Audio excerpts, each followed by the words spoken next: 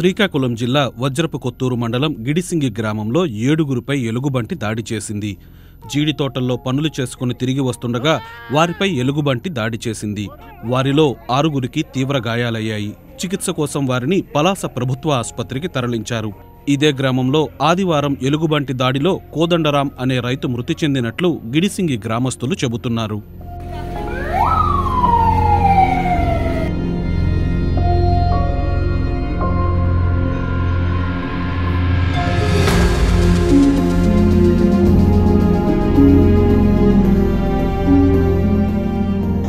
వజ్రపత్తుల మండల పలు పల్లి ప్రాంతాల్లో ఎలుగుబంటి భయభ్రాంతులను గురిచేస్తుంది.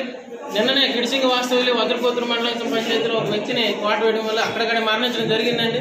ప్రజెంట్ ఈ రోజు అదే అలర్ట్ అయ్యి కుర్రోళ్ళకి అంత జాగ్రత్త చేసినప్పుడు కూడా ఈరోజు తెల్లవారి అదే కిడిసింగ్ గ్రామం నుంచి పక్కన మా వజ్రపోతు రాజుగారి తోట జీడి తోట లోపలికి ఎలుగుబంటి వెళ్ళడం వల్ల అక్కడ కుర్రవాళ్ళు అందరూ కూడాను సహాయం కొరకు ఒక రైతుకి సాల వేయడానికి అందరూ గ్రూప్గా వెళ్ళారు. పది మందిలాగా.